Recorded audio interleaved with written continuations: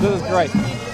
I think this is wonderful. It's very important that people in Israel sees this, not just the people in the United States. That they know that they have this type of support from American Jews, but also look from non-Jewish groups as well. Uh, America loves Israel, and and that love is on parade today. Absolutely. And the Congress